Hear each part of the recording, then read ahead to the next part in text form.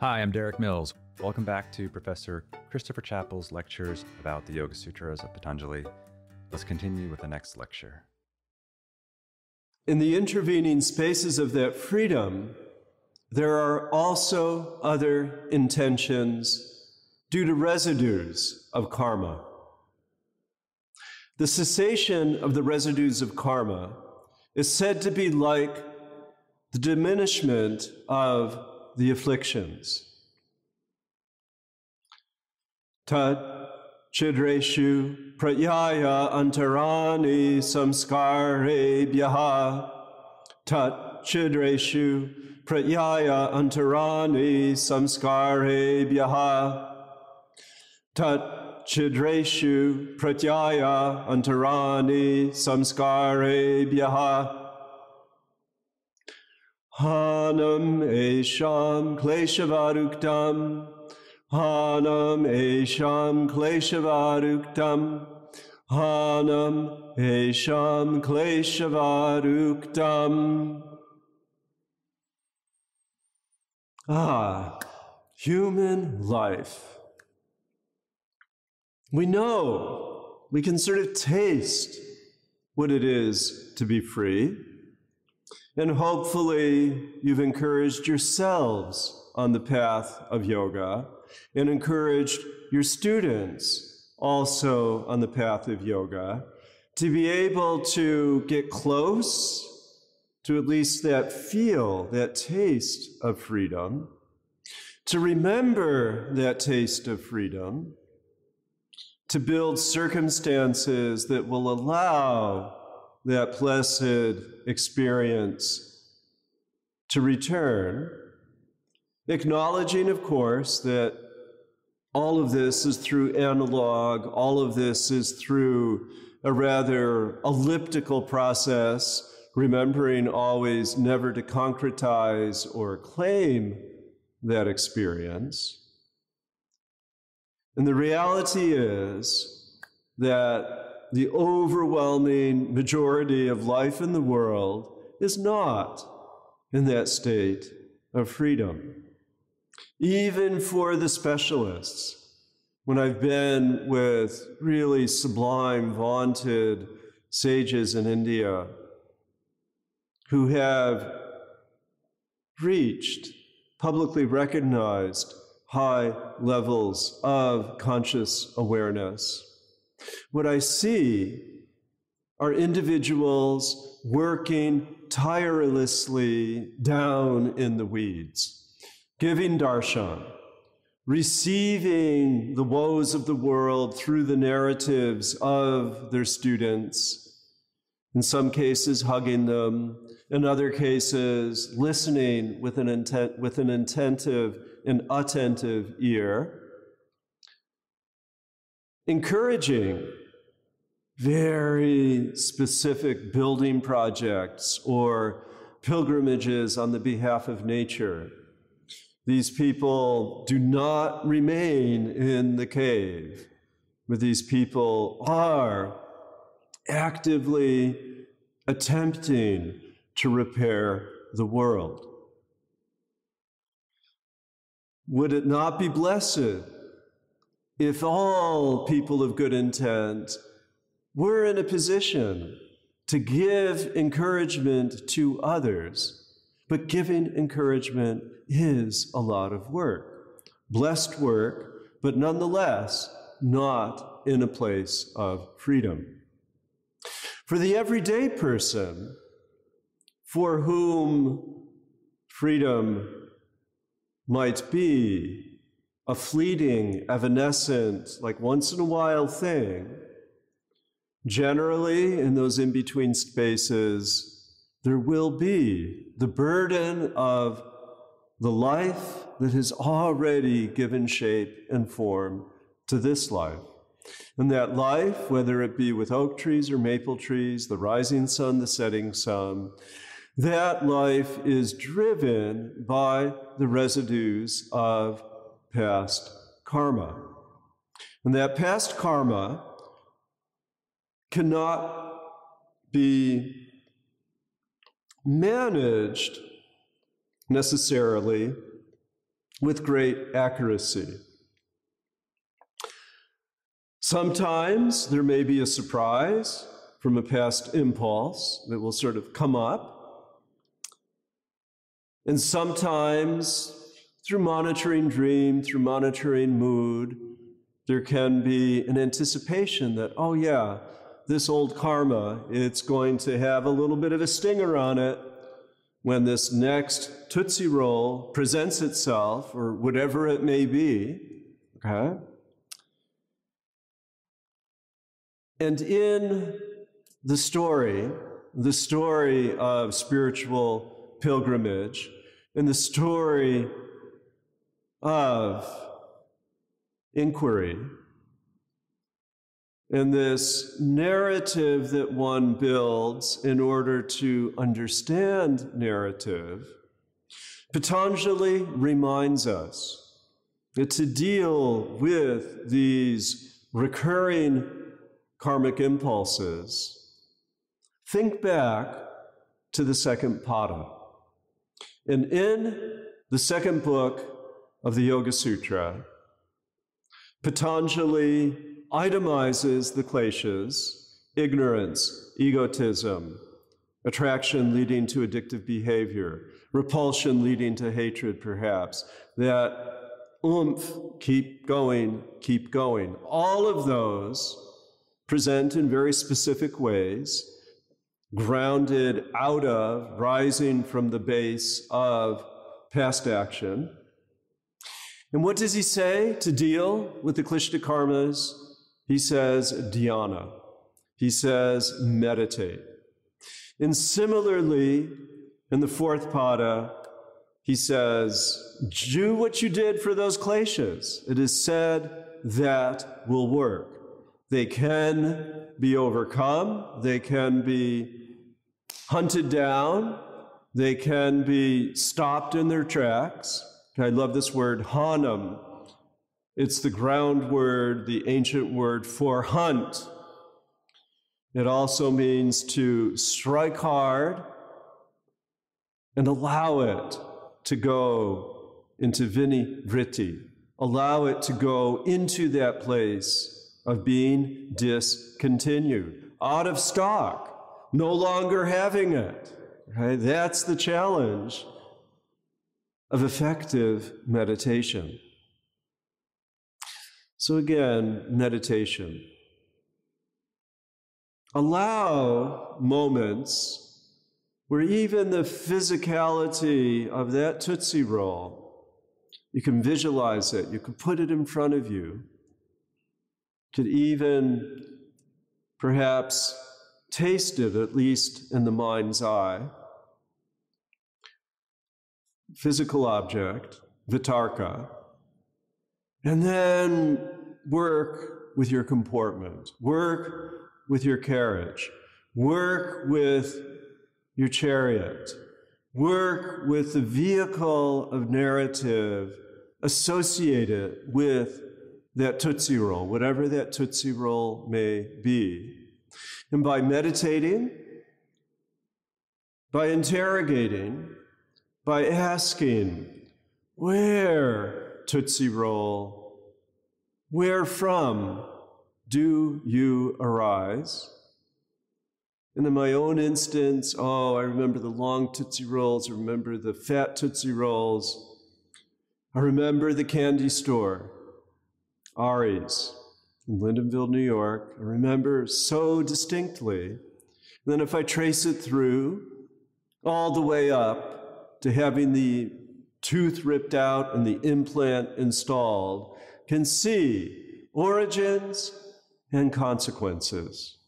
It's a sobering tale, a tale that I've lived long enough to tell, a tale that was interrupted pretty much right in the middle with a horrible toothache.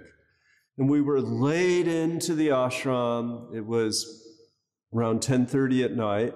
I had driven quite a distance, and my toothache was so profound, a tooth that has since been replaced with an implant. And I looked miserable. I felt miserable. And my beloved Guru Ma looked over, said, What's the matter with you? I said, My tooth hurts. And she smiled. And oh, I went into a little bit of a burn.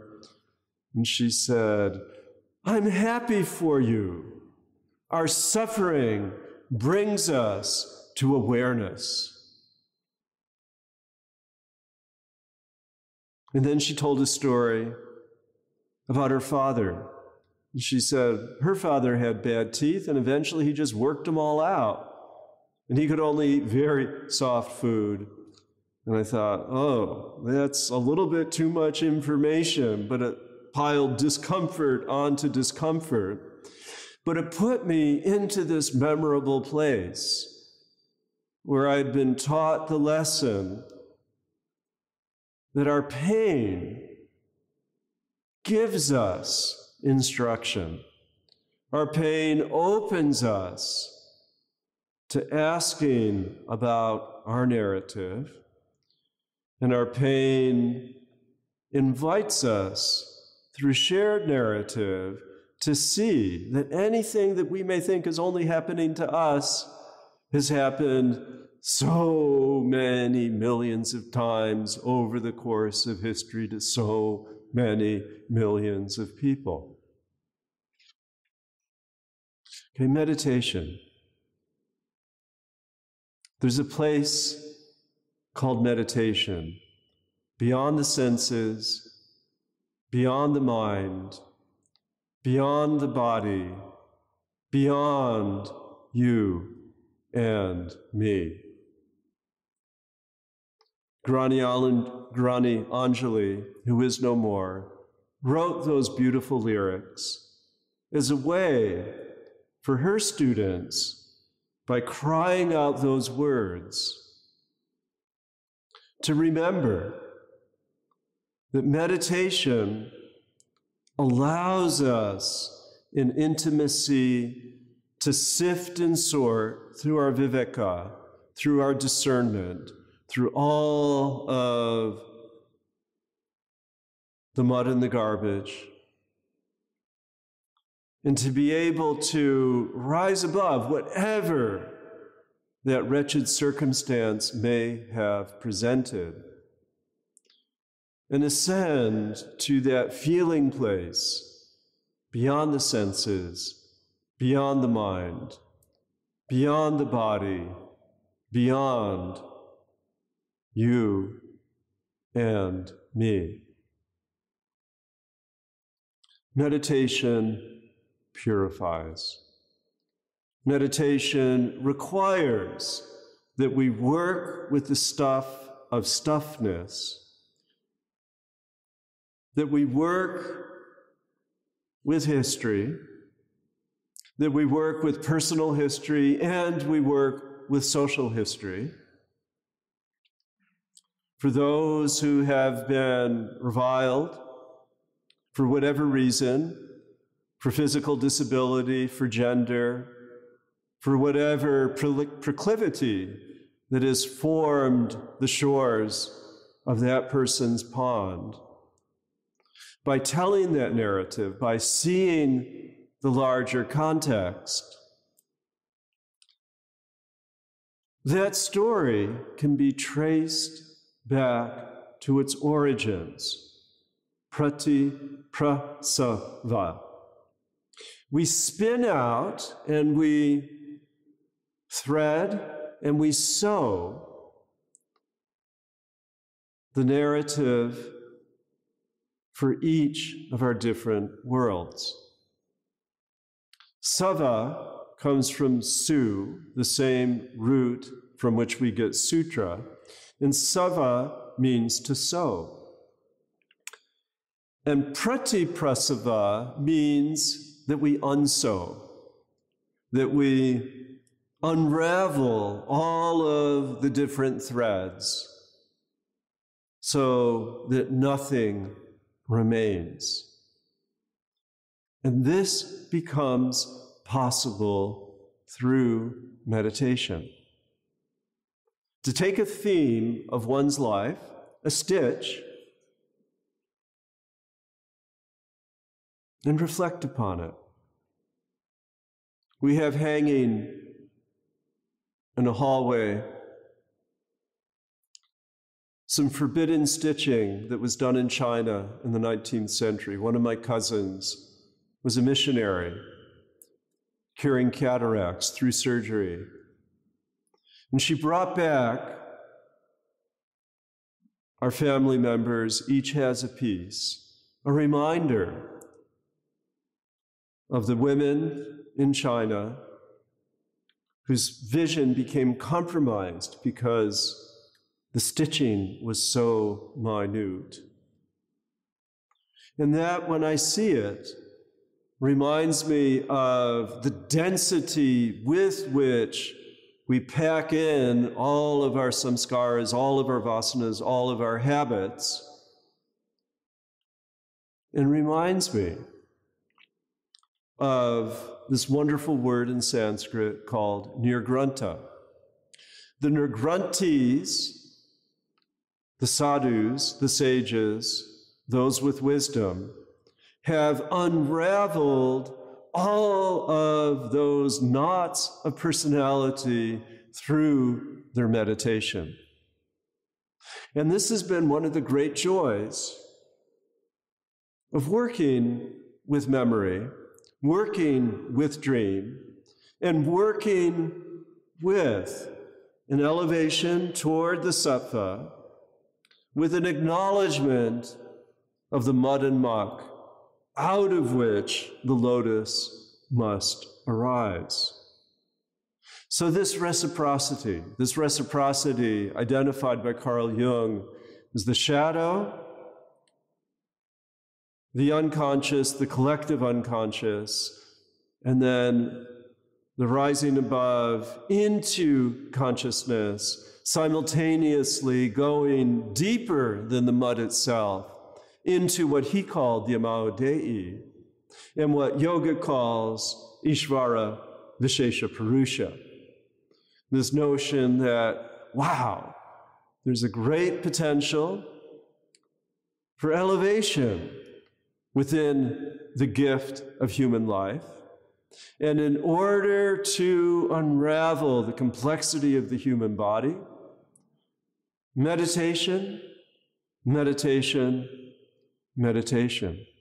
And that uh, meditation process for me has involved a monitoring of dreams, a remembrance of moments of inspiration, an abiding inquiry about what makes me do what I do. And also, and this is where, as a yoga teacher, your role becomes so fundamentally important because all of that emotionality becomes wrapped into the fascia. And that fascia constricted gradually through asana finds extension and the granularity of those karmas that have been cramped up in there a little bit, a little bit, a little bit can and will be released. For me, identified with a rather dramatic scoliosis as a teenager, finding that one move, in addition to all the general moves of yoga that began to allow that stretch and release allowed the unraveling of a whole raft of emotions that have been tied into body image, into feelings of inadequacy, into feelings of weakness, all of which were undeniably real, and all of which were part narrative and part physical bodily reality. Every time you invite your students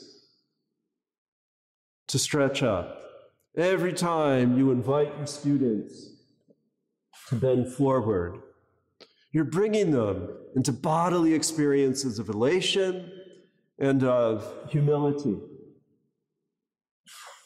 And these movements are meditations. These movements are occasions for bodily and emotional self understanding. So when you weep, when your students weep, something shifts, something change, some change happens. And that change lies at the core of meditation.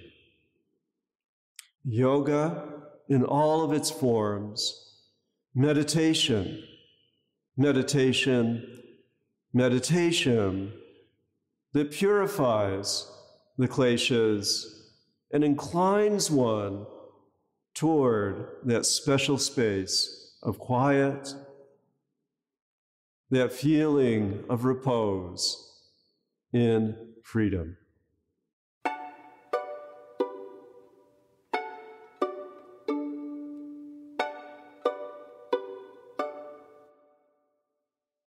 Indeed, in that state of reflection, for the one who has discriminative discernment and always takes no interest, there is the cloud of Dharma samadhi. From that, there is cessation of afflicted action. Then, little is yet to be known due to the eternality of knowledge which is free from all impure covering.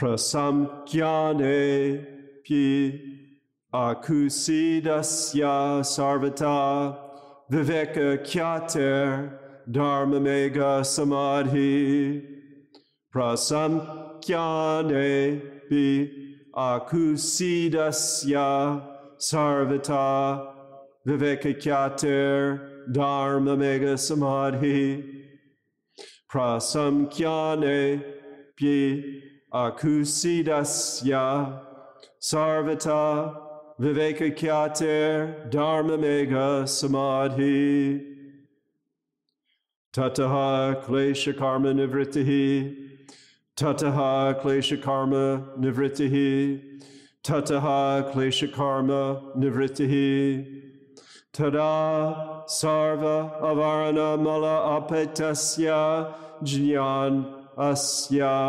anantyaj jneyam alpam tada sarva avarana mala apetasya jnanasya anantyaj jneyam alpam Tada sarva arvarana mala apetasya jnanasya anantyaj jnayam alpam.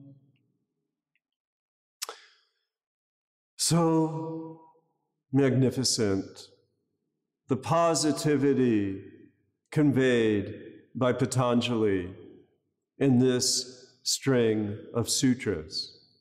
So many metaphors to live by can be found here. First, with moving into a sustained reconnoitering of all of that stuff, all of those particles and pieces of what we call life. And by particularly applying discriminative discernment, this viveka kyati, repeatedly, consistently, effectively. And here he becomes a little bit of a punster. He says, In this moment, you no longer gather the interest.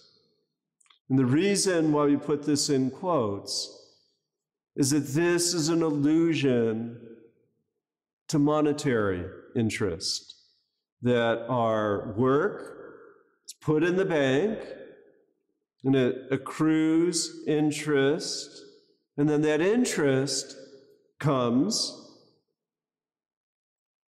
and we cash in on that interest, and then we deepen and extend karma. And interest is both metaphorical and literal here. As we've seen, vastu, the stuff of action, the stuff of the world, asserts itself, reasserts itself, reappears, demands that we deal with it as stuff. And along the way, in order for that to happen, we have to take interest. We have to take an intention to recommit to whatever stuff has presented itself. And in this state of ongoing discernment, rather than, oh yeah, I'm interested in that, rather than reaping the fruits of that action for good or ill, there's a buoyancy that comes about, described as Dharma Megha, described as this fluffy cloud that floats above, protects within that bubble of samadhi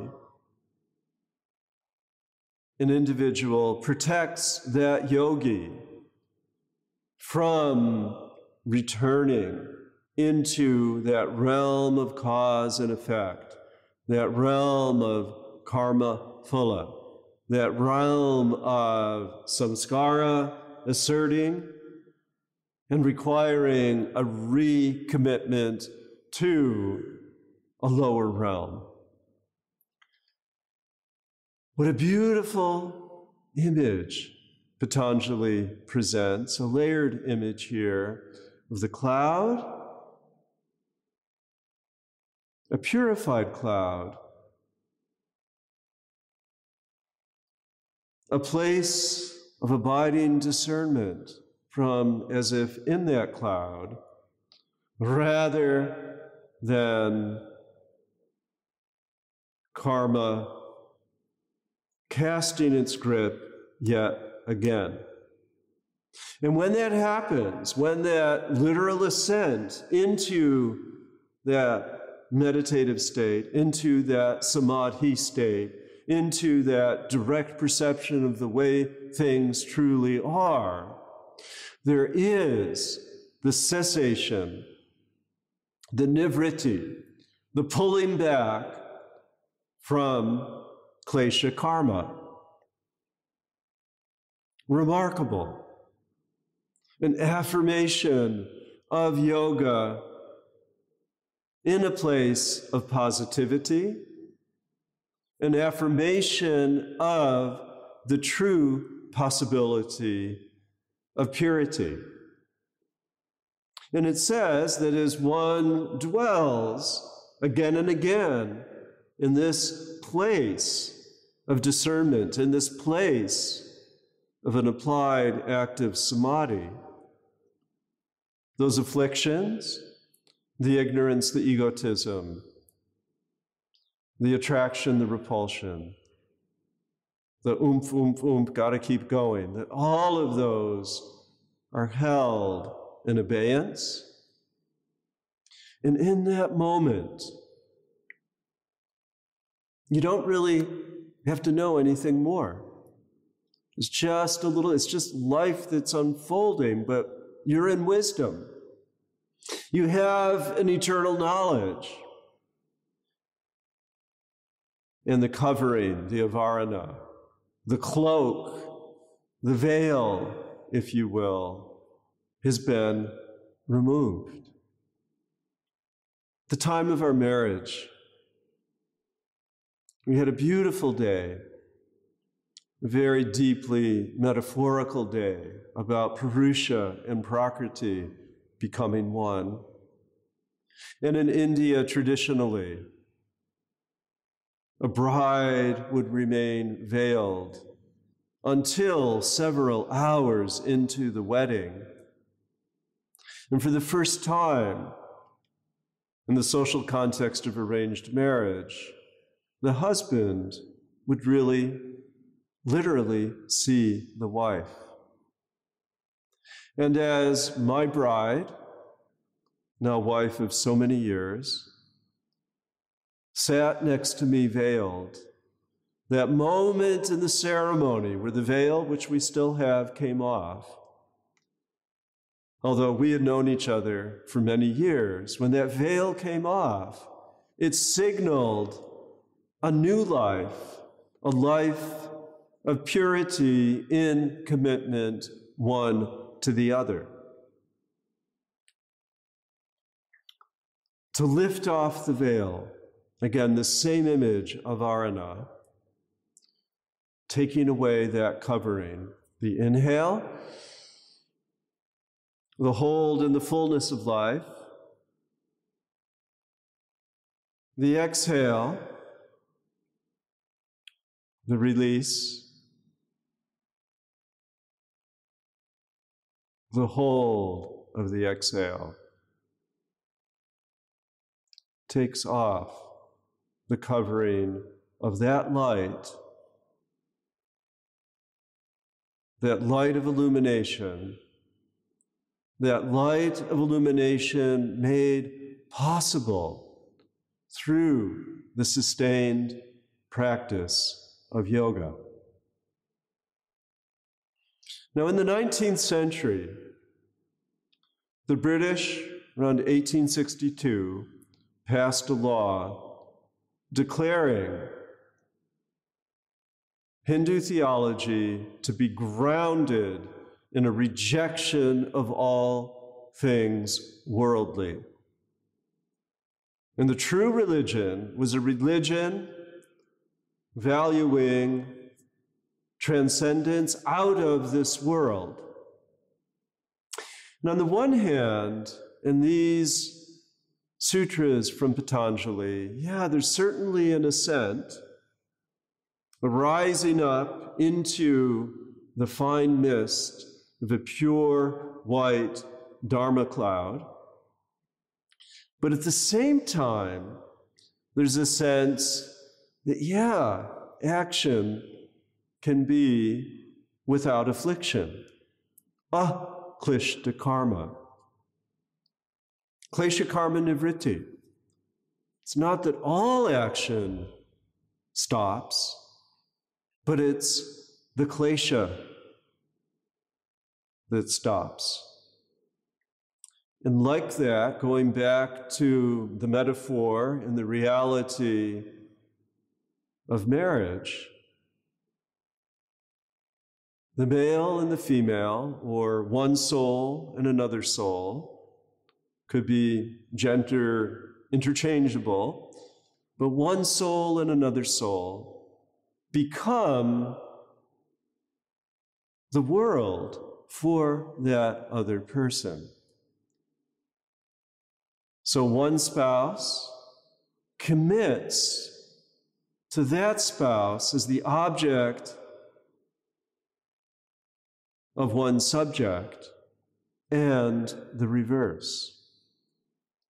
So that in this beautiful commitment, in this vowed life together, walking side by side, Purusha engaging Prakriti, the seer and the seen, sometimes the seer, sometimes the seen, and the reverse, that this gives voice, this gives narrative to a life lived with purpose. This gives a little bit of hope, gives a little bit of inspiration that the crafting of karma can be done from a place of purity, can be done within the context of Dharma, of holding together the world, simultaneously with the ongoing application of jnana, the ongoing application of knowledge, the ongoing application of viveka discernment, discernment, discernment. So, as yoga teachers, and as we've received from our yoga teacher on August 17th, 1974, there can be an invitation to celebrate this relationship between the field, the seen, and the knower of the field, the kshetra and the kshetra jna.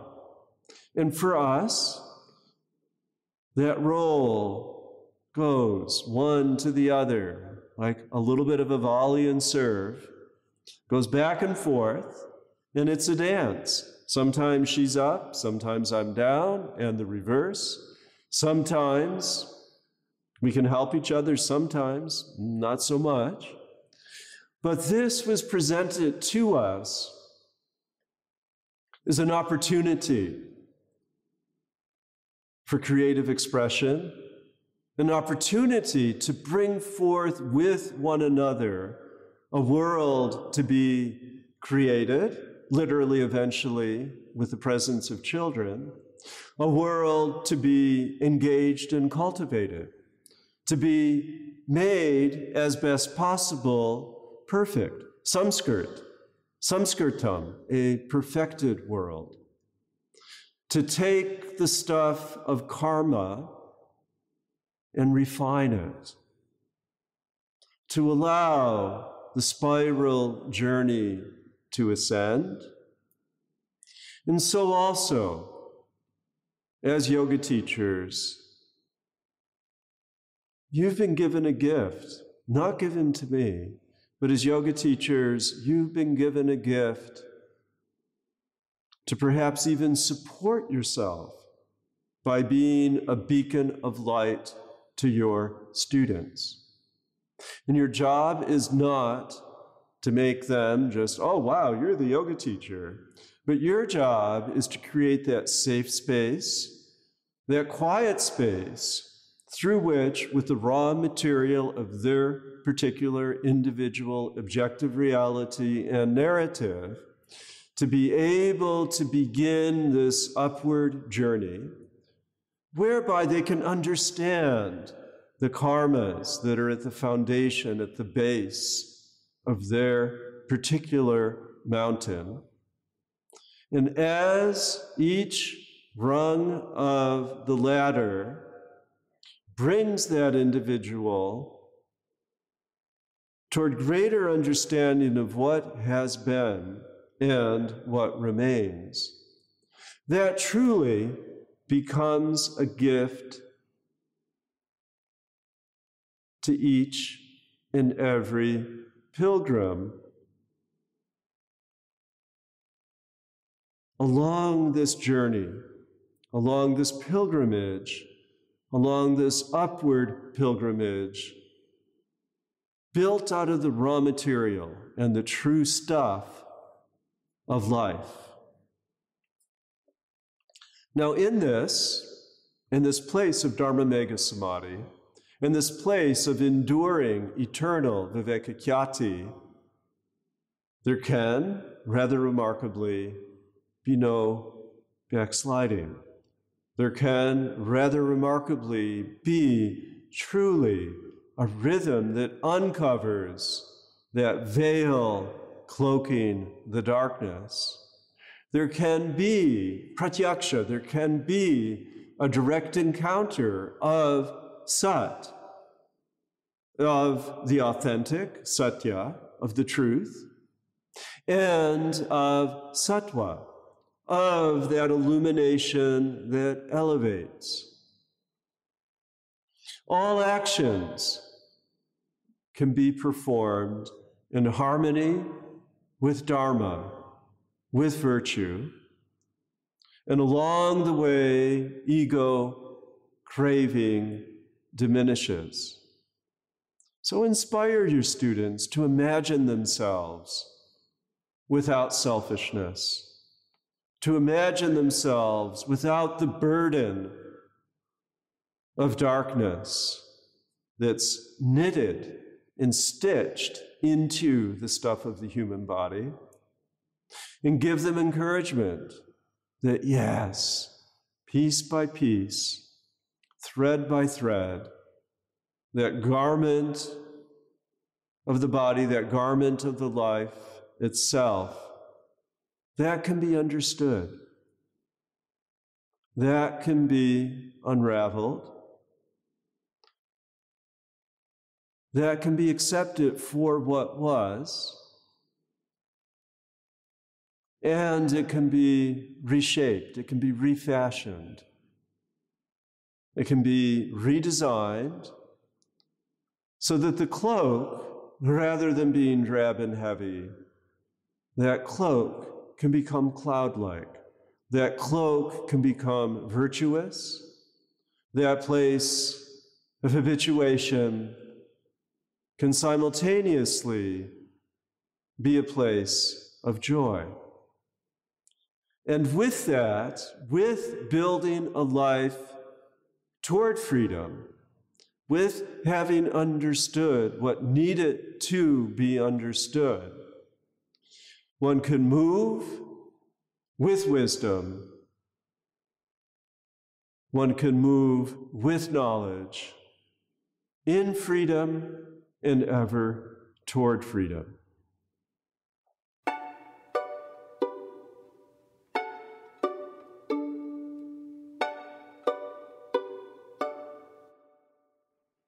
From that, the purpose of the gunas is done, and succession of parinama ceases. Succession and its correlate, the moment, terminate at the end of parinama. The return to the origin of the gunas, emptied of their purpose for the Purusha, is freedom steadfastness in one's own form, and the power of higher consciousness. Tataha kirta artanam parinama krama samaptir gunanam. Tataha kirta artanam parinama krama samaptir gunanam. Tataha kirta artanam parinama krama samaptir gunanam. Kashana pratiyogi parinama aparanta nirgrahyaha kramaha. Kashana pratiyogi parinama aparanta nirgrahya kramaha. Kashana Pratiyogi Parinama Aparanta Nirgrahyaha Kramaha Purusharta Shunyanam Gunanam Pratiprasava Kaivalyam Swarupa Pratishta Va Chitti Shaktir Iti Purusharta Shunyanam Gunanam Pratiprasavaha Kaivalyam Swarupa Pratishta Va Chitti Shaktir Iti Purusharta Shunyanam Gunanam Pratiprasava Kaivalyam Swarupa Pratishta Va Chitti Shaktir Iti.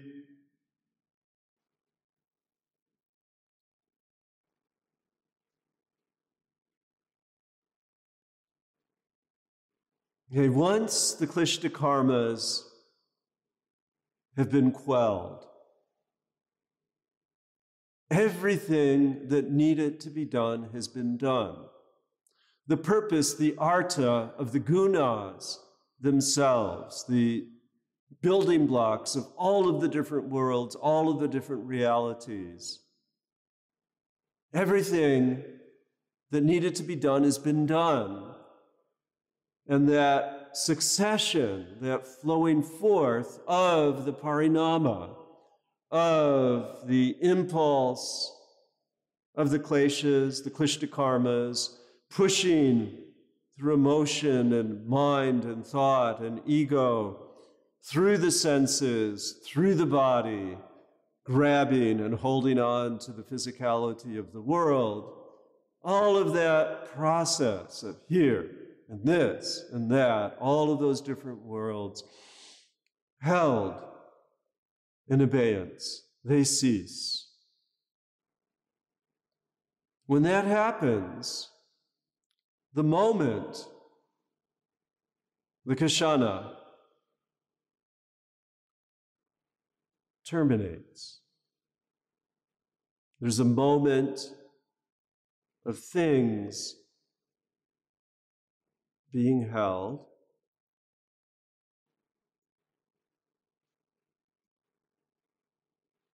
Dissolving, as it were, into that place of quiet.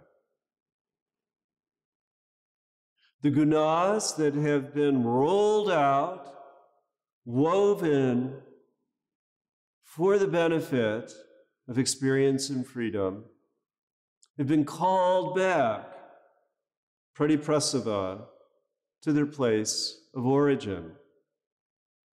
And in that,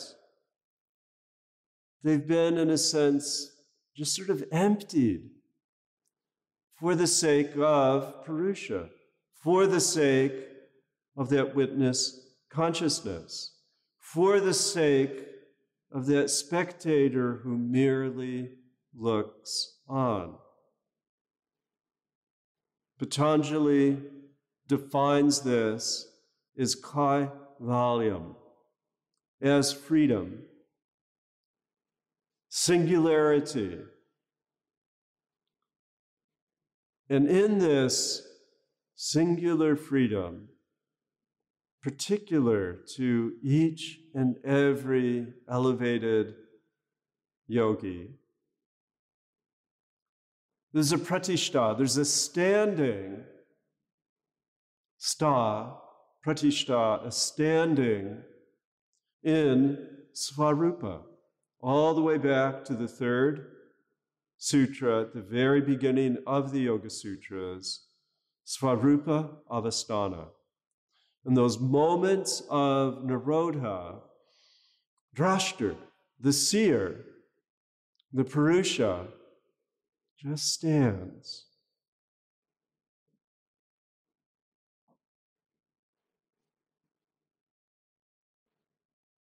and in a beautiful, playful manner, the goddess actually gets the last word.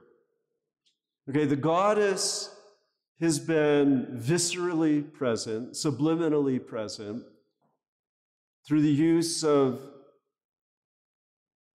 feminine gender terms throughout the first pada in particular. There's a playfulness to Patanjali. And whenever in that first pada he talks about all those several dozen ways of doing yoga, he uses the feminine. He uses the feminine gender to signal how yoga can be made part and parcel of one's life. And he ends the entire concatenation, the collection, the gathering together of all of this insight and all of the specific practices, he ends it with an invocation Chitti Shakti, power of Chitti, of that which possesses Chit, power, Shakti, in contrast with chitta, vritti, chitta, the outflow of, karma, of consciousness, vritta in all of its fluctuations, all of its vulnerabilities, if you will. But here, now we have chitti, okay? chit, just pure consciousness, attached not to a dissipation through fluctuation, but attached to Shakti, attached to the goddess, the goddess writ large. So we've learned from Patanjali that everything that happens in the realm of chittavritti, of those fluctuations derivative seemingly of consciousness, but we've learned that no, there are fluctuations that are designed for consciousness. And that that at one level becomes mirrored. And again, the image of the mirror. We want the sattva to reflect the clarity of the seer, and we want the clarity of the seer to reflect through sattva and literally shed light on the purpose, shed light on why do we have this whole drama and dance of life. And it's for the seer to know the seer. So, this notion of chitti shakti suggests that consciousness can, after this long process of clarification, of purification, that this consciousness remains known through the power of the awareness manifested with the goddess. And in this, we find a process almost really literally of divinization, that the whole world becomes divine. The whole world is not other than consciousness working out itself. Now, some theologians and philosophers Shankara Ramanuja from the Advaitin tradition would say that everything just is inseparable from that consciousness. In the case of Shankara, in the case of Ramanuja, that everything in the particularity contains a shard of that consciousness, a piece of that consciousness. And what Patanjali does rather elliptically, rather inscrutably, but nonetheless with a clear signal, particularly in his languaging of what is the arta? What is the arta of experience? And the arta, the purpose of the manifest world, the world of objects, the world of narrative, the purpose of this entire dance is ultimately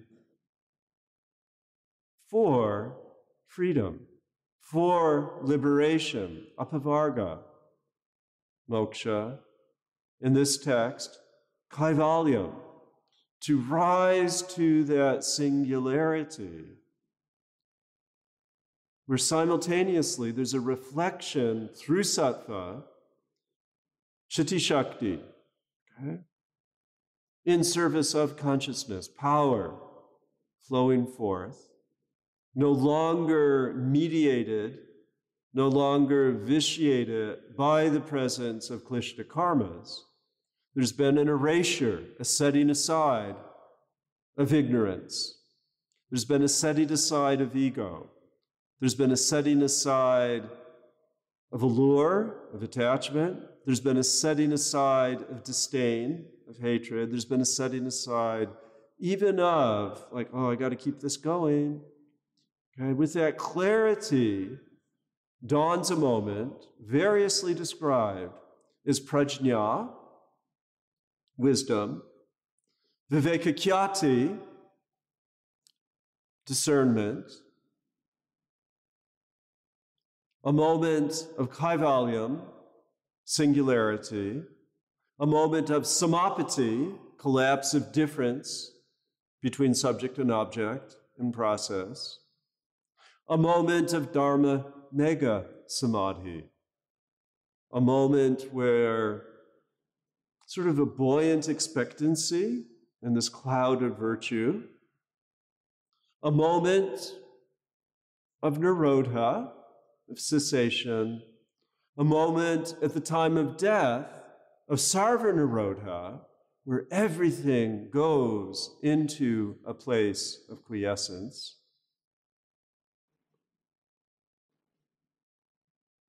Yoga, a disentangling, a sifting through, and literally finding the needle, the gleaming diamond within that haystack.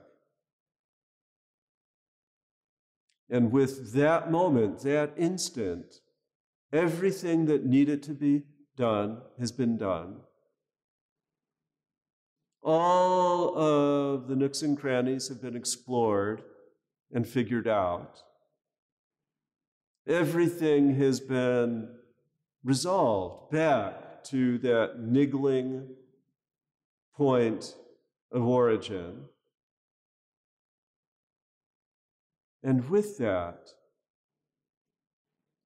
Svarupa Pratishta, a standing, Samasthiti, a standing, the Jain posture Kayotsarga, No karmas remain that bring one into that place of tamas or negativity. No karmas accrue that would call one downward into that place of tamas. Shunya, only empty, only empty, only empty. In the Jain literature, the correlate word for kaivalyam is Kevala. And they actually have paintings and statues of people in this blessed state, in this elevated state, occupying the Siddhaloka, the realm, the world of the Siddhas, those who are perfected. And some of them stand simply in the stillness of the uprisen body, Kayot Sarga, and others sit tranquilly in Padma Asana, as if resting upon a lotus. And each bears the countenance of calm, of equanimity, of ongoing, thoroughgoing practice of Maitri, friendliness, compassion, karuna, sympathetic joy, mudita, and equanimity, upeksha. And as you discuss freedom with your students, use all the amazing resources available. Bring in the poetry of Mary Oliver, which so eloquently conveys that moment of reflective repose. Bring in the playful poetry of Rumi that invites moving into that meadow beyond all of the distinctions and judgments. Invite in that occasional insight from Shakespeare. The whole world is a stage, and we are merely players upon it. Invite in those narrative analogies from your own experience. Humanize yourselves to your students. Humor them with a little bit of your own folly. And invite your students to reflect upon even the possibility of not messing it up, to reflect upon the spoken possibility given in this last Yoga Sutra that you really can figure it all out, and remain undisturbed. And we know from earlier sutras that these moments themselves, these moments of, of joy, can be fleeting. Yet to simply share with a student that moments of perfection can and will dawn, can and will bestow a feeling of grace and blessing, that that encouragement can help overcome a little bit of the pervasive anxiety, the pervasive difficulty, the pervasive cloudiness. Some days are a little bit more cloudy than others. Some months are a little bit more cloudy, or even years or decades. But recall, those people who, through their positivity, send an assurance it will be okay. It will be in that place once more where all is well. All is well.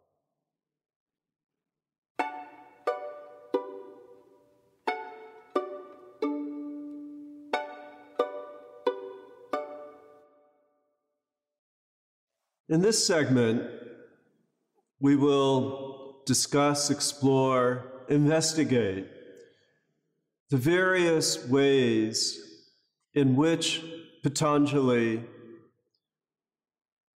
presents the practice of meditation. In Sanskrit, the word is dhyana.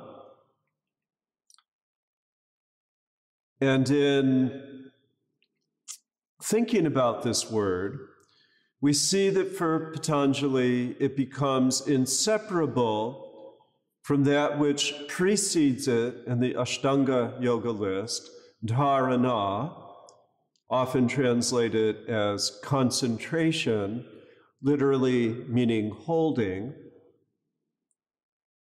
and the word that follows it in the Eightfold List, samadhi. And samadhi means the vision, the dhi, that is up close, ah, and connected, some. So dharana, holding, leading into dhyana, meditation,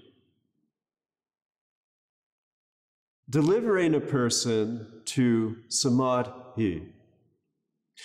Interestingly, we see the word appear in the second pada, the third pada, and the fourth pada. But in the first pada, what's outlined, moving toward the eventual articulation of dhyana, but the first mention that we find in the first pada of the word is abhimata dhyana va, to choose and pick up any meditation that you desire. So again, meditation, pada one, whatever you want to do. Meditation, pada two, it will help overcome klishta karmas. Meditation, pada three, combined with dharana and samadhi it provides a power of constructing a world with meaning. And again, in Pada 4, we see that dhyana becomes the vehicle through which one overcomes afflicted action. So, as we go back to the very beginning, Ata Yoga Anushasanam. And this whole enterprise of learning about yoga that we're undertaking begins the second sutra yogas, chitta, vritti, nirodhaha, nirodhaha, bringing the fluctuations of the mind of consciousness to a place of stillness. And as we enter into the various paths that are given for entering Nirodha, we see that the first is abhyasa, meaning you got to do this, you've got to practice, and vairagya, which means that you need to develop a sense of remove, a sense of rising above, a sense that whatever it is that you commit to, you're doing it for and toward an elevation of sense of being. And one of the quasi meditational lists given in the very beginning involves five practices well known from Buddhism Shraddha, which is holding Daha, Shrad, a version of the heart, of having sort of a convincement, not just a blind faith, but a convincement that yes, this will prove effective.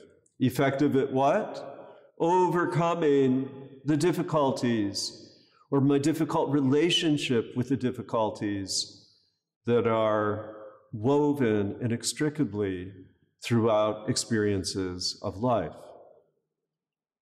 Another meditative state,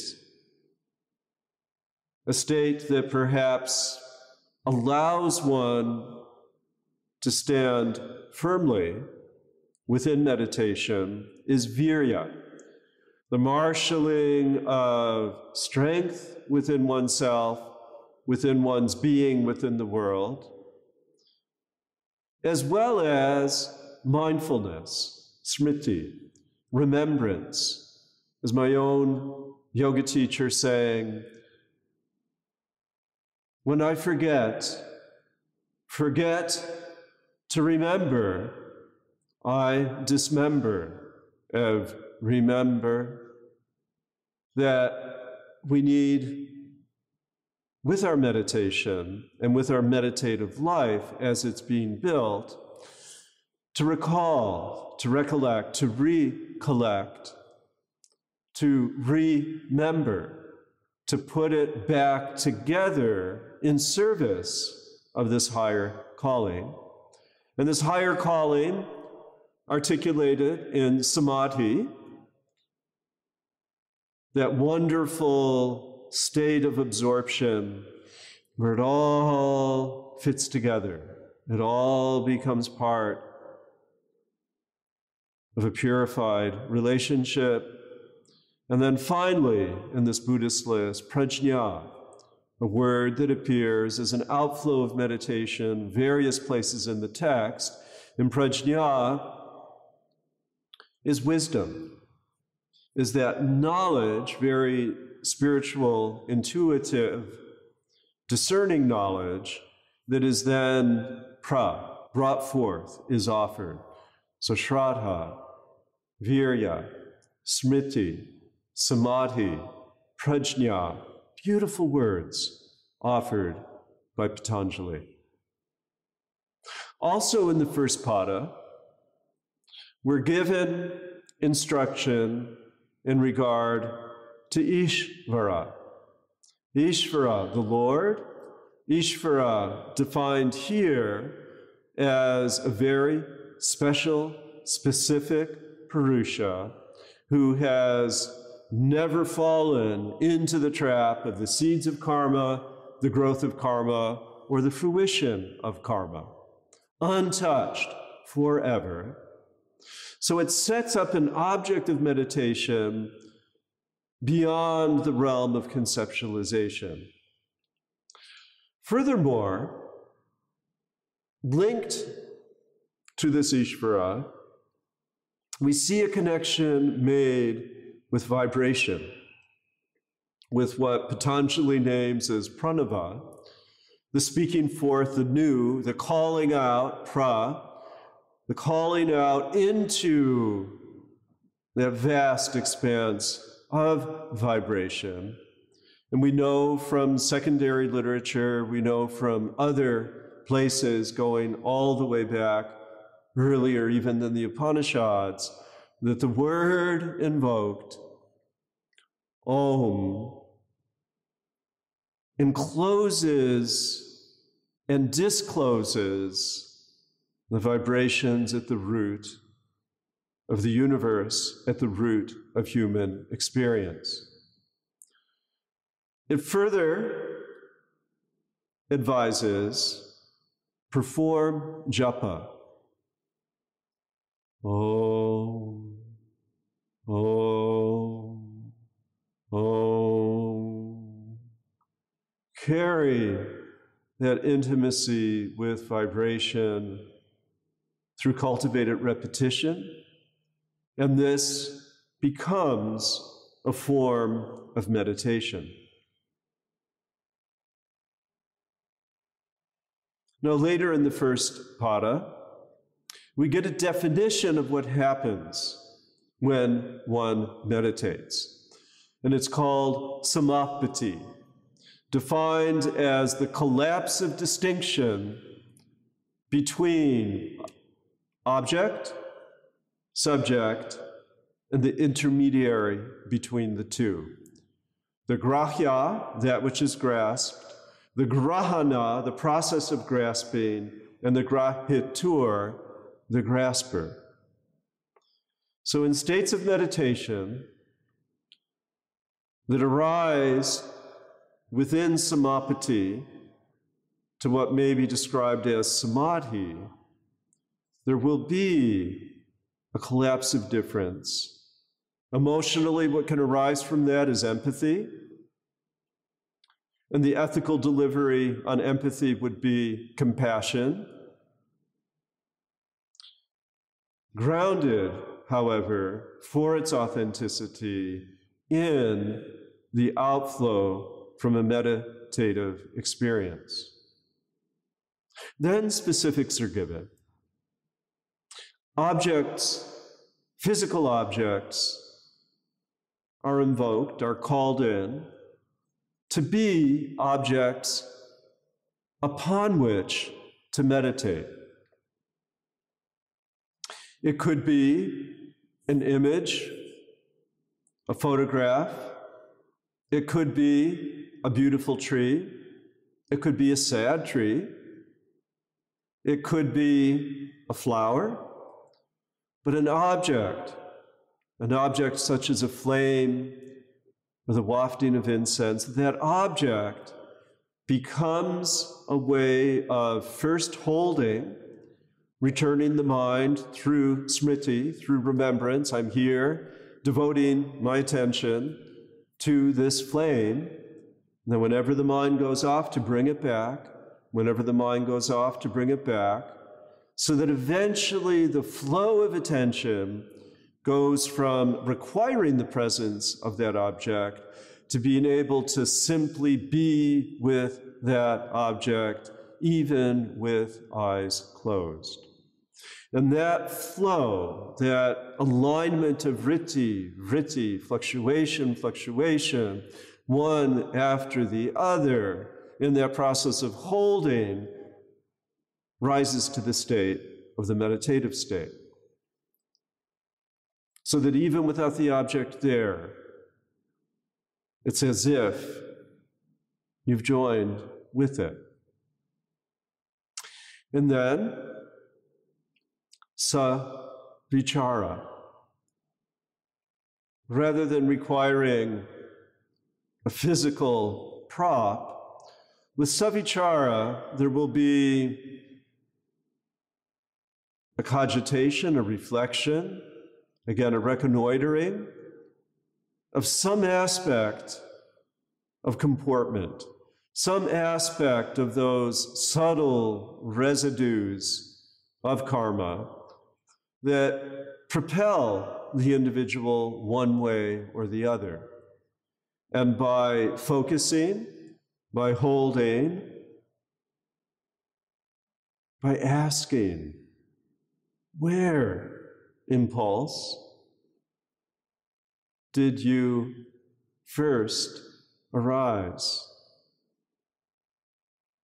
Feeling it in the body, those subtle textures, reviewing it in the place of memory, those impulses, sometimes quite unhealthy. And then there becomes an awareness in this third category of sabija, of the seeds from which those particular behaviors arise. And the sabija level allows through story and narrative a revelation to arise. Oh, yeah, that's what it's all about. And once the story is named, once the picture is drawn, then it can lose its sting, and that seed can wither and disappear. And that state, nirbija, that state of seedless samadhi, that state of freedom and liberation, relies upon steady commitment to perform dhyana, to perform meditation. And it says in the second pada, dhyana heyas tad vritayaha. It says that all of these klishtakarma vrittis, all of these difficulties in life that simmer and bubble up from the subtle body, yearning, demanding enactment in the physical realm, that all of those negativities can and will and must be avoided, chaos, from, through the application of meditation, of dhyana.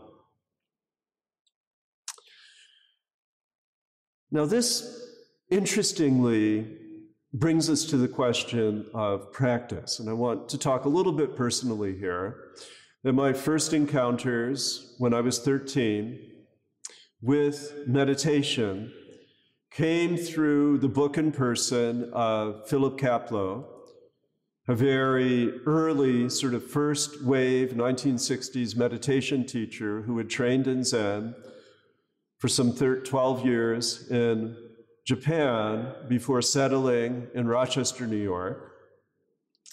And his gentle way of inviting people into zazen, which is, in fact, the Japanese pronunciation with an extra syllable, Zen is from the Sanskrit dhyan.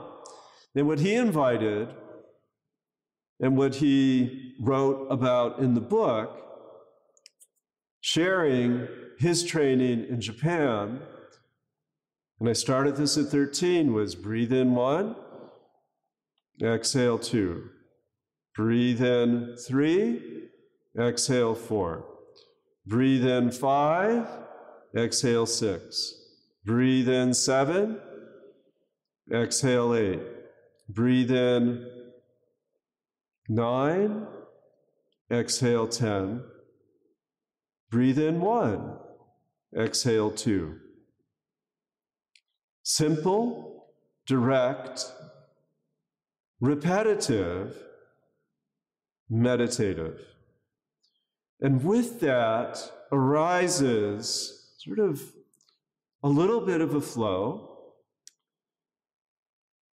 necessitated and aided by and through the drifting mind has to remember, oh, what number am I on?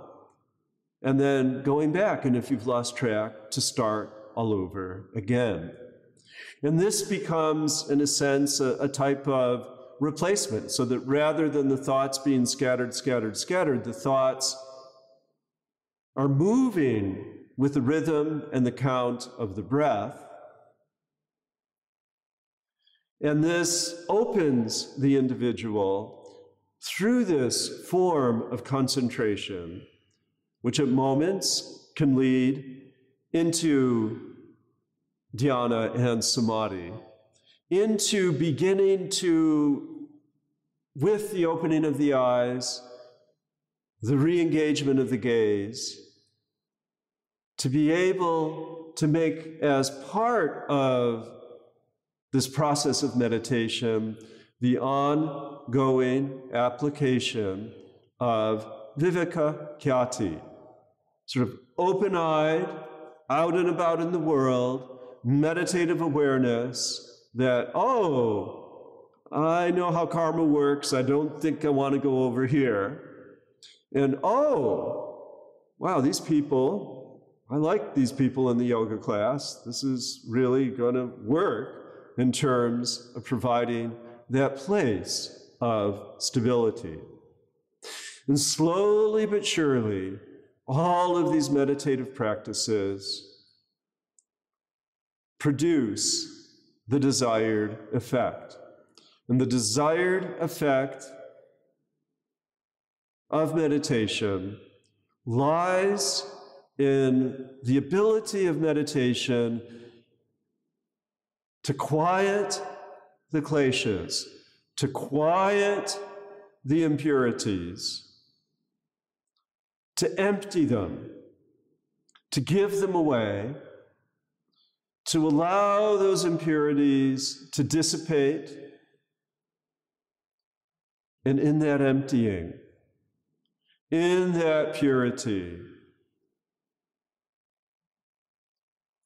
prakasha, light, radiance, sattva, liberation can happen.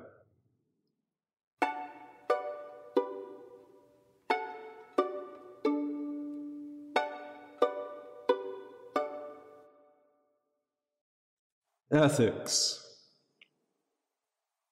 When I was a young person, I didn't want to hear that word.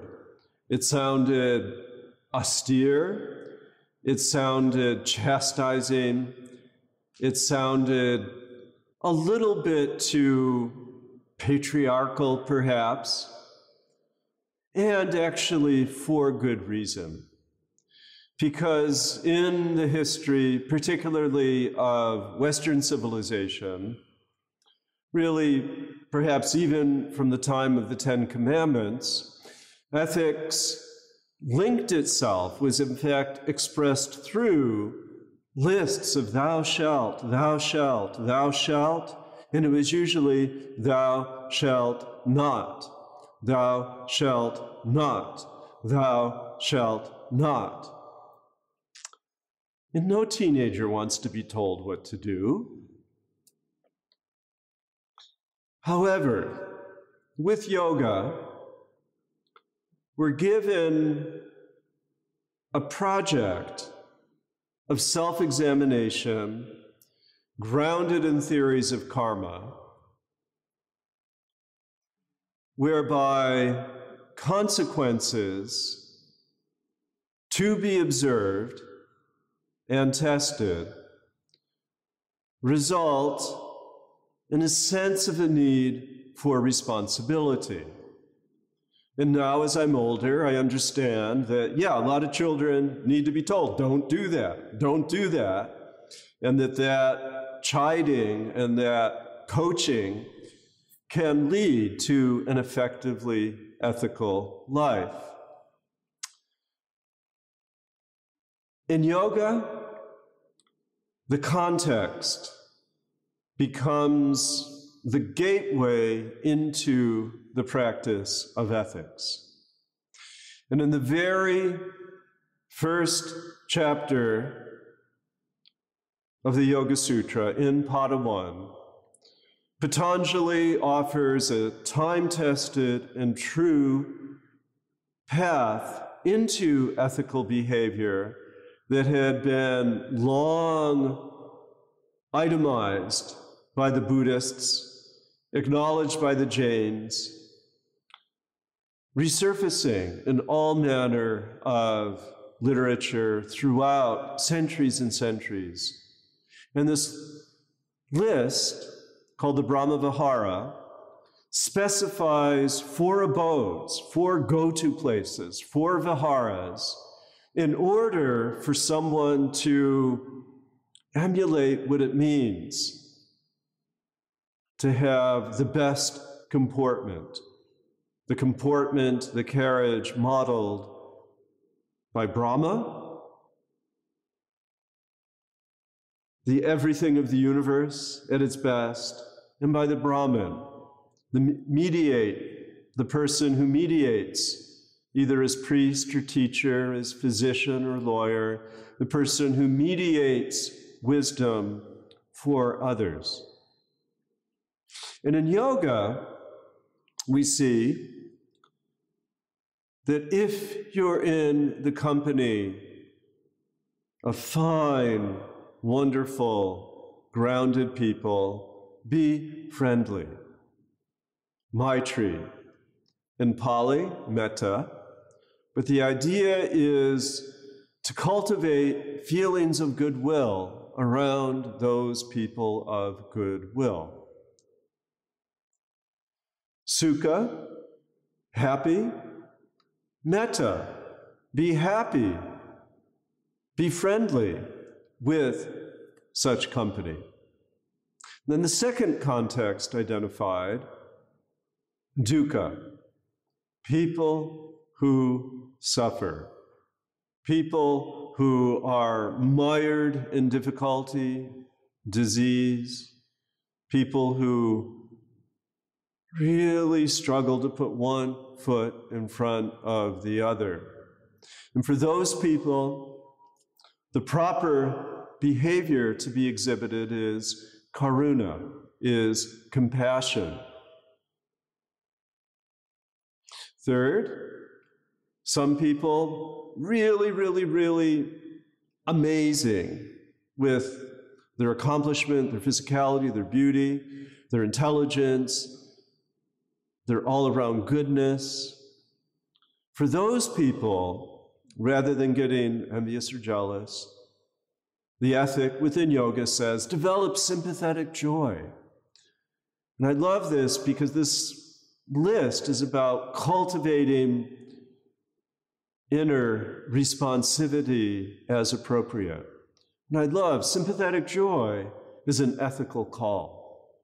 And then finally, for those without any redeeming qualities whatsoever, what Patanjali recommends is equanimity, upeksha, upeka in Pali, to be able to have acknowledgement without affirming any bad behavior, and have acknowledgement without condemning that bad behavior, or at least not condemning the person who has fallen under the sway of negativity.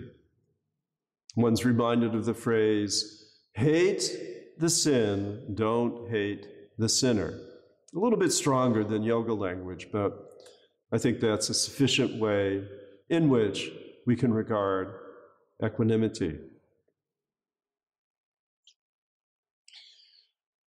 These four friendliness, compassion, sympathetic joy, and equanimity become, in and of themselves, powers to be manifested with the samyama of the third pada, with coming out of those very rarefied states of quiet back into the realm of activity, to use those frameworks, to cultivate those skills in order to engage, in order also to discern.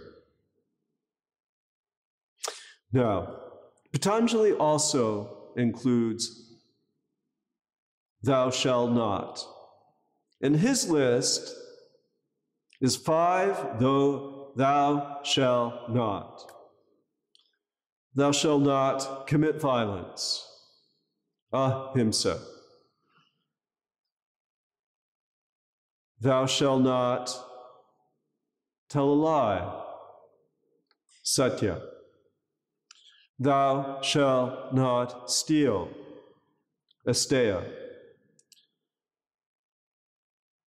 Thou shalt not engage in unclean or inappropriate sexual behavior. Brahmacharya, a little bit like Brahma Vihara. Right?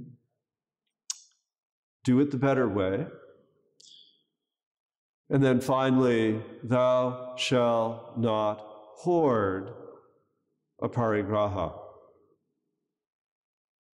Now, this collection of moral instruction, namely abstain from violence, abstain from lying, abstain from theft, abstain from hurtful sexual encounter, abstain from having too much stuff. Upon closer reflection, and upon the way that I was trained within these modalities is not about just following rules, but in fact, the ethics of yoga requires reflection, consideration, and a broadening of definition. So, with nonviolence, it doesn't merely mean, although it certainly includes, Stop using foul language, it hurts people's ears. It doesn't merely mean don't hit somebody, but it also means let's look at structural violence. Let's look at dietary violence. Let's look at emotional violence. And by exploring all of those different avenues, an ethical worldview can be cultivated and embodied. Martin Luther King Jr. invited his good friend who had studied in India in the 1950s, studied with Gandhians committed to the practice of nonviolence, he invited his friend, Reverend James Lawson, to open a school in Tennessee in a church basement. And he taught people how and why, as Jesus advised, to turn the other cheek. And with this non-violent community commitment, society changed for the better. Nonviolence. Truth.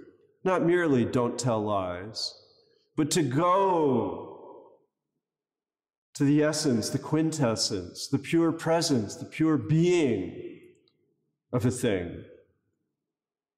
And not merely give it a name, but make the space to be with that tree. A tree is an expression of truth. With that rock, a rock is an expression of truth. To be with that moment of sincere, authentic encounter with a friend or relative, that level of truth much broader, more profound than merely don't tell a lie and not stealing. Applying social analysis to theft, applying psychic analysis to interpersonal relationship and conversation Okay, all of that, as we would journal every week, we would come up with very simple observations about, oh, I talked a little bit too long and I stole a little bit of time from someone. And then the consequences of sexual misbehavior. It's always an ebb and flow, but venereal disease comes and goes, but it's always sort of a looming threat for the licentious. And then there's a simple issue of respect and dignity, allowing people without manipulation to set their own rules, to set their own boundaries in terms of even simple flirtation. Profound lessons to be learned. Lessons that really can't be told by others, although others hopefully will send signals that could help move the culture and, of course, the individual toward appropriate behavior. And then finally, the hoarding, hoarding, hoarding. This is the great American disease. We have so much stuff. The ocean is moaning and groaning with the weight of human created plastic that has come to occupy almost every nook and cranny of the ocean our landfills, claiming and taking away entire canyons in the mountains. Not only do we have things, but with things comes trash. And to consider minimizing possession, this is a good thing, a very, very, very good thing.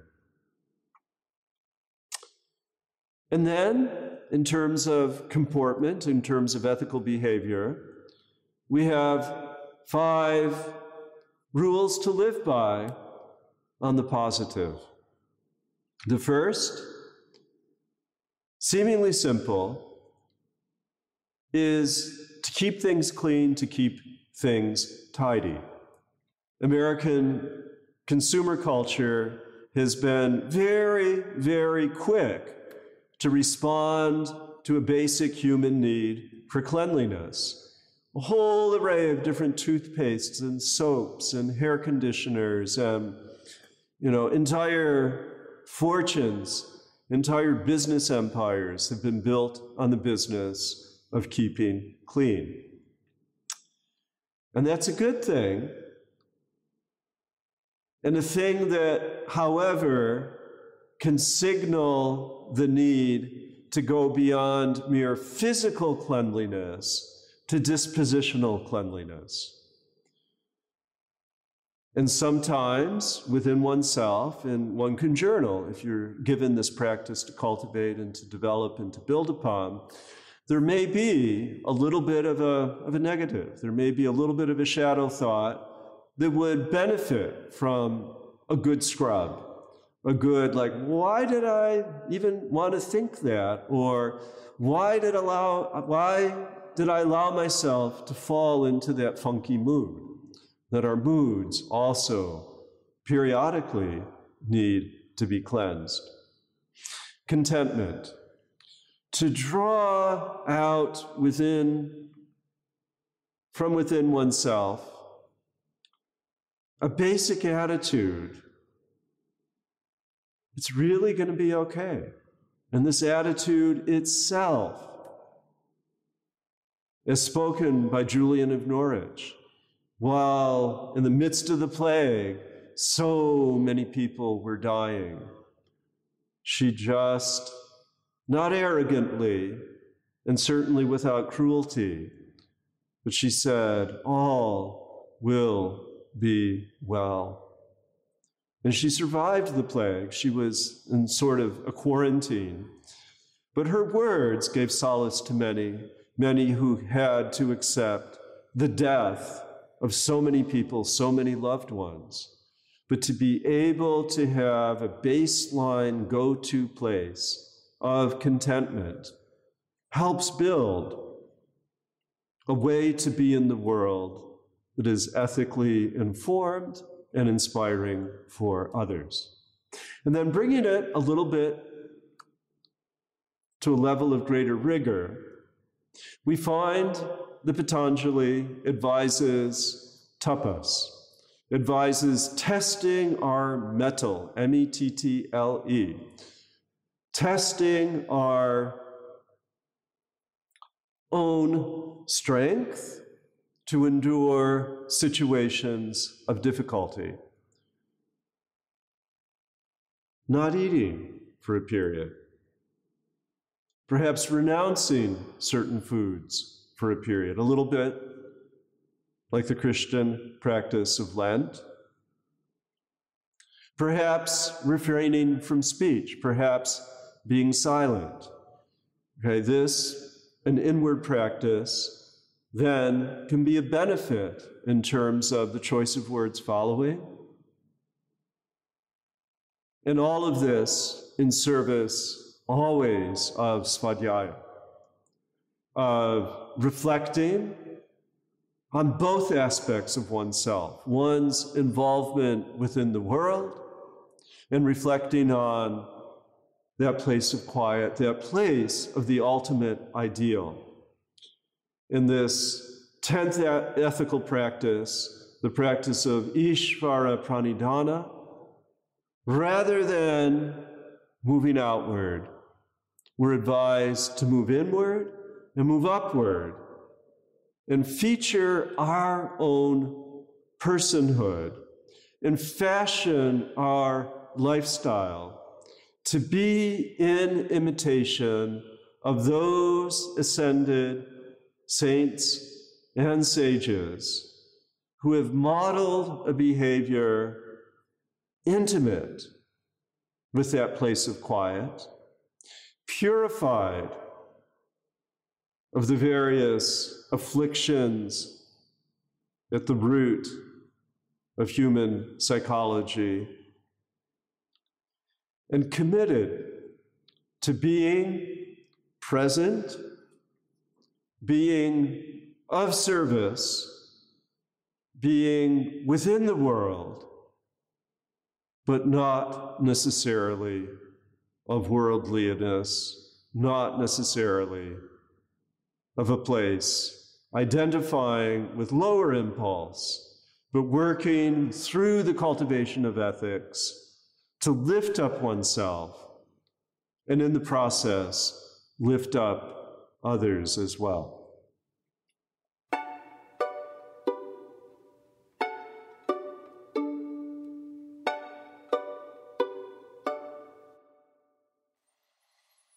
Congratulations. Either you've fast forwarded and you've landed on the last episode. I know when I read, sometimes I'll read the last chapter first. It's not really a terribly auspicious habit, but if you take this as your preview, um, you may or may not be disappointed. But congratulations if, in fact, you've landed in the last third of these 20 hours. 20 hours is quite a journey, quite a commitment, quite a pilgrimage. And what we'll do in these last 20 minutes is speak to the human condition, assuming that as a person engaged with yoga, or as a person teaching yoga, that you're digging into the fertile soil of self, of lower self, of body, of impulse, informed by this yogic gift that through yoga we can come to a place of quiet. And here, I also want to point out what may be obvious to many that there is, in fact, a linkage between the mindful tradition that has become popular in schools and in workplaces and even in government, that this whole practice of breath regulation, breath attention, body attention, the exercises given in the various trainings of chewing on a raisin and experiencing the flavor, that all of these things intersect with yoga significantly. Yoga, Buddhism, Jainism share a common ground, share a common concern.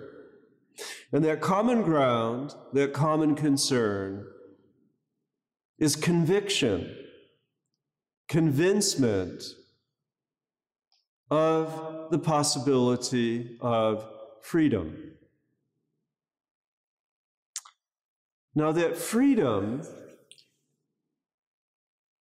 can be experienced on so many different levels on the feeling tone level, on the physical level, on the spiritual level. And what yoga has scripted within the Yoga Sutra of Patanjali, which contains kernels, sort of moments just brief sentences that are more suggestive than elaborate. What yoga suggests is that we inhabit this body, that this body links to breath, and that our breath similarly cannot be separated from our mind, and our mind cannot be separated from our breath. It gives a physiology of the body that talks about the belly, talks about the throat, talks about the head, as well as the heart. And rather than being mechanical, there's gastric juices, or you have a larynx, or you have a brain. This physiology of yoga suggests that so much depends upon the operation and the center of your body, the digestion. That so much depends upon the clearness of voice giving voice to emotion. That so much depends upon our ability to allow even the possibility of recognizing that there are wonderful exemplars of perfection, and that all of this settles into our heart and through intuitions of the heart, we can know everything that we need to know. An amazing affirmation of human physicality. And then the breath. Okay, the inhale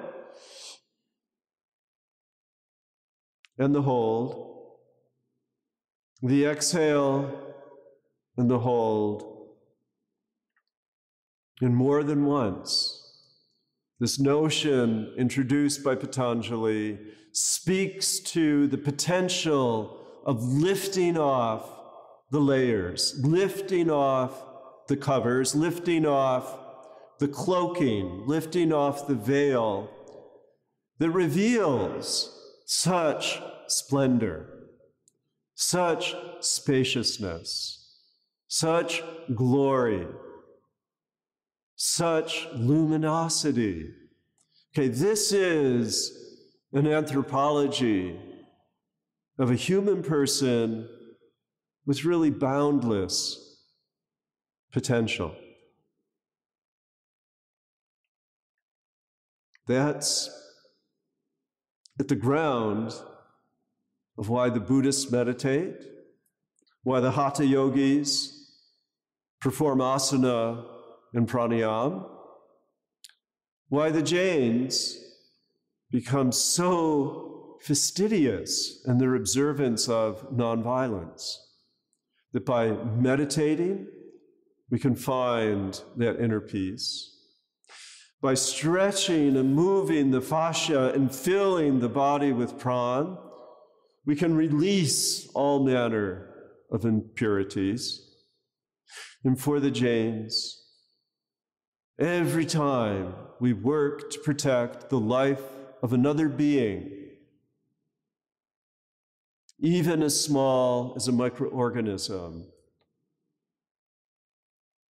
we are able to release lifetimes of karmas that are fraught with difficulty, fraught with affliction.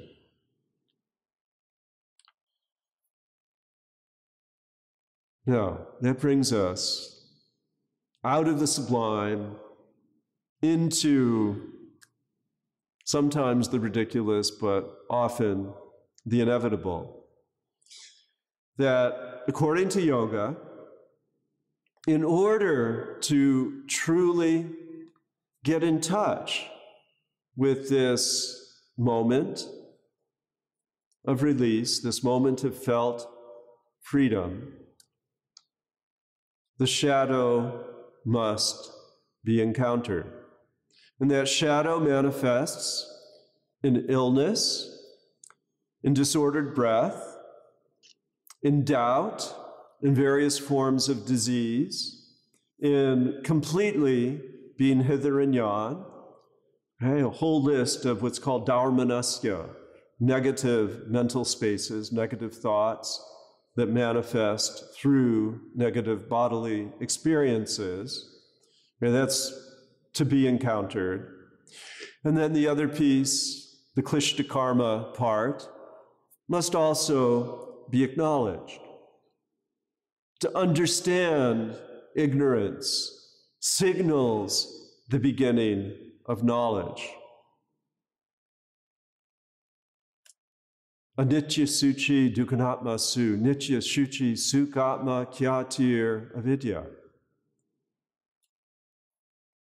The move toward knowledge discerns. Everything changes. Nothing stays the same. Second, take a second look. Namely, may have a beautiful cover, but you look inside and it may not what it at first appears to be. That we may think that something is just pure and wonderful and great, but then we discern that, oh, no, it wasn't quite that.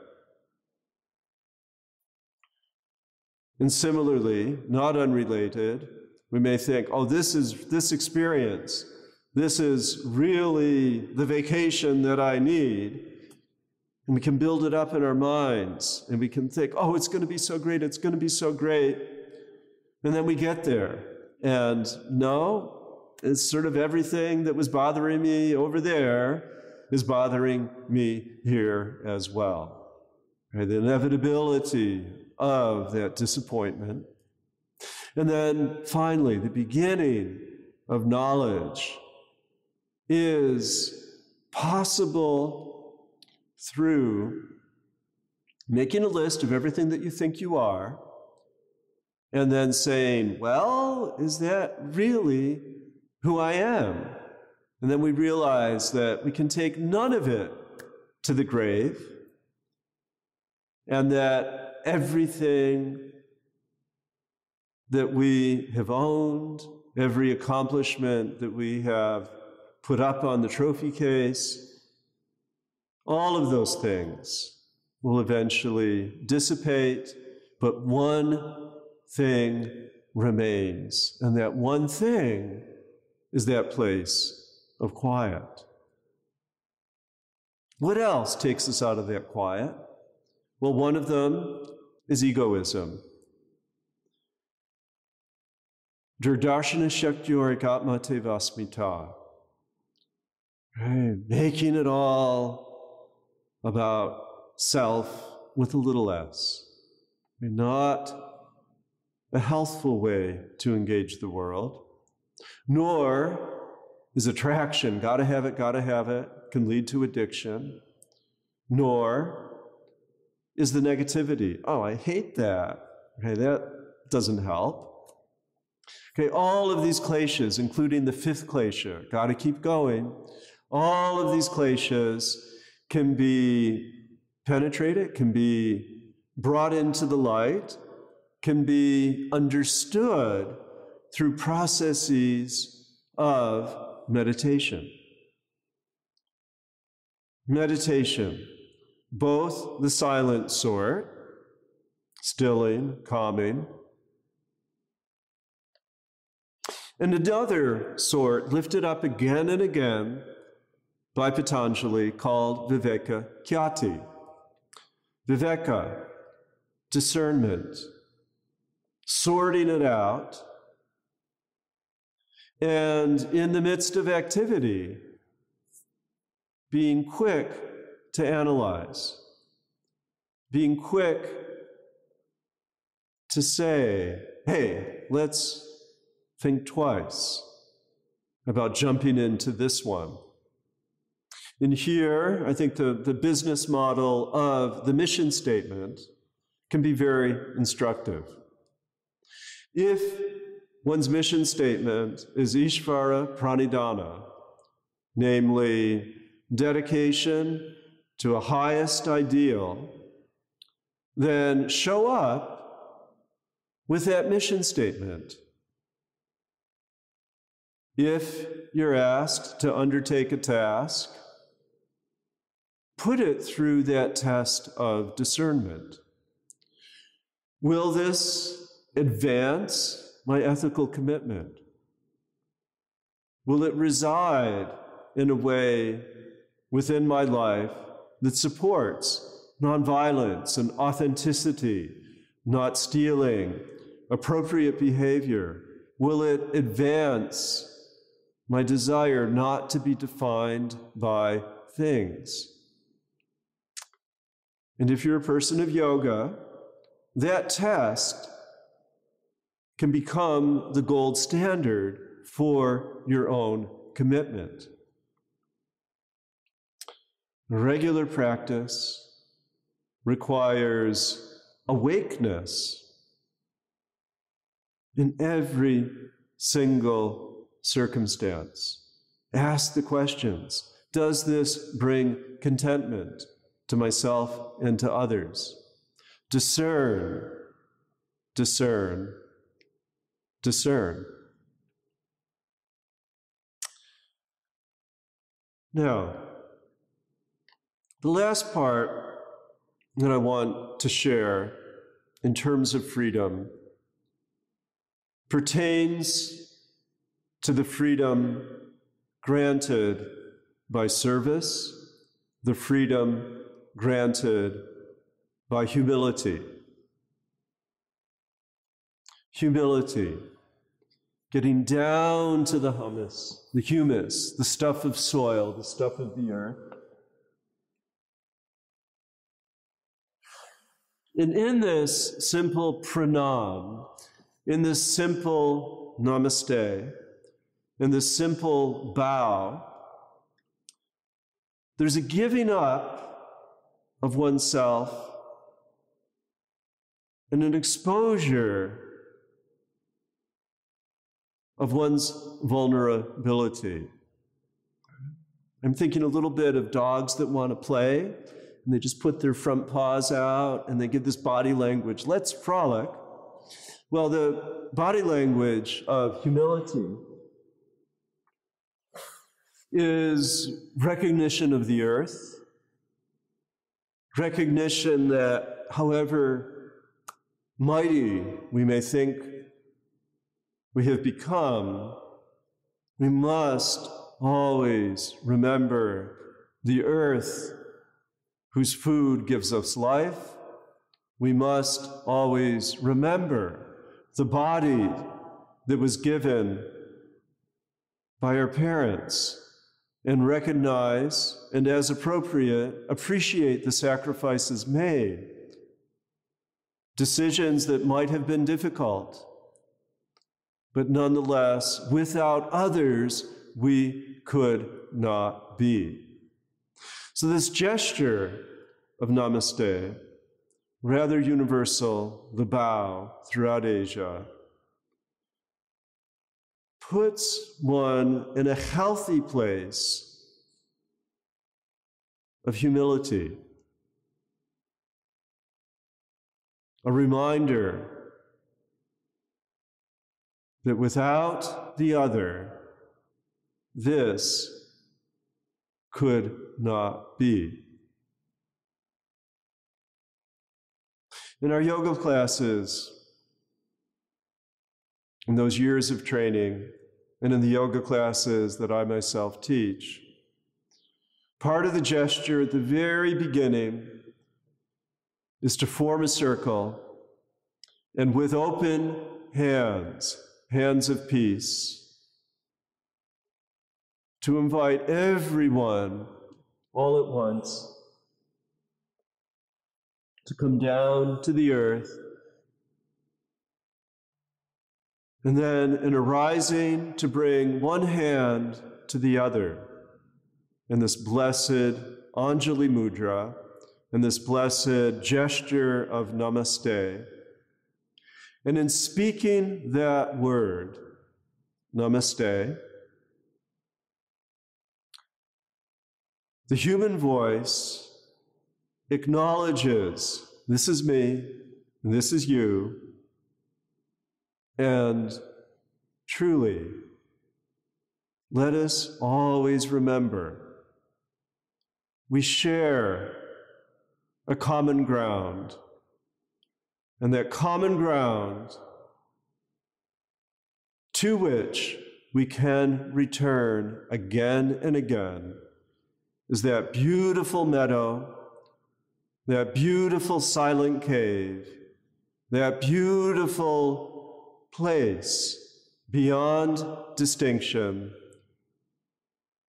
that beautiful, calm, quiet place, that place of yoga.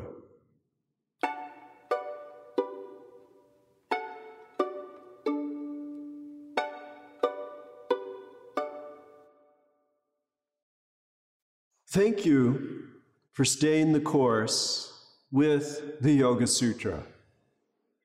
The Yoga Sutra deliciously invites learning about yoga in a way accessible to so many people without requiring adherence to any one particular belief system and allows you, as a person of yoga, to engage on a journey of self exploration.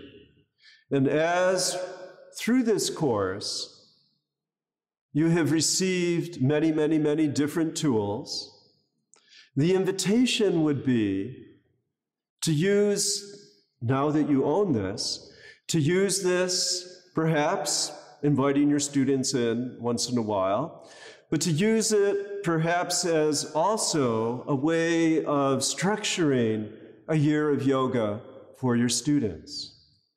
One way might be to give an overview of some of the philosophical terms from the Yoga Sutra, including Chittavritti Nirodha, including Yama Niyama, including Seer, and seen, big picture, and then assigning, experimenting, playing with some of the many practices.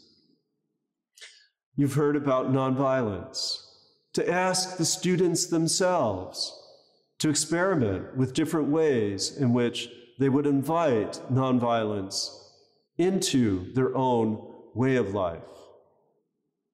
To think about the breath, to think about the disordered breath, where the svasa prasvasa may be a little bit out of balance, and to think about the regulation of breath talked about in pranayama. Invite your students to breathe in, to hold, to breathe out, and to hold, and to count. And you might want to revisit the psychology of yoga, a psychology grounded in a definition of the human person as twofold a piece of the person always aware and awake, and another piece of a person mired to varying degrees in the klishta karmas. And by reflecting on these karmas, in light of gunas, in light of states of density, heaviness, in light of activity vibration, and in light of the sublime, students can design, self design, a project of self reflection that would allow this discovery to be an opportunity for creativity and for joy. You're also invited, of course, to repeat the Sanskrit, to perhaps consult a book that includes the Sanskrit, break down the words, learn, increase your own vocabulary a little bit, read it again and again and again and again. The Yoga Sutra has been an important part of my life since 1972. Every time one engages the Yoga Sutra, it's possible to see something different. It's possible to find it speaking to something, speaking to something that you're able to understand at a different level. So, again, congratulations. You've completed your encounter with Patanjali. Now, take this yoga, take this knowledge, and bring it, bring it out a little bit into your life and into the world. Namaste. Thank you for listening to this series of lectures about the Yoga Sutras of Patanjali from Professor Christopher Chapple. The Glo podcast has also published another series of lectures from Professor Chapple about the history of yoga. You can find the links to listen to them on glo.com, Apple Podcasts, Spotify, or wherever you get your podcasts. I'm Derik Mills.